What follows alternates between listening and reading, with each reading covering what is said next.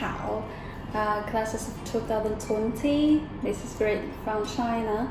Uh, I'm Jay, and I was in Leeds last year for the Professional Language and Intercultural Studies program.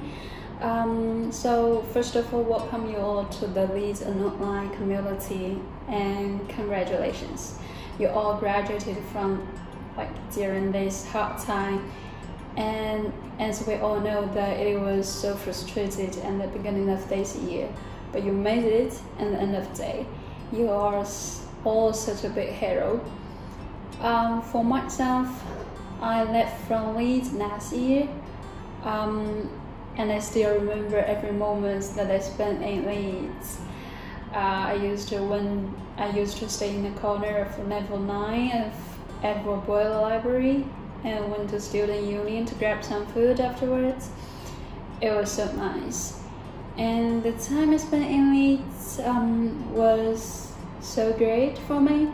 Like meeting a couple of friends, doing some sports, reading some books, which are all that I appreciate. Uh, last but not the least, um, you guys all like survived from this challenge, COVID 19, as we all know.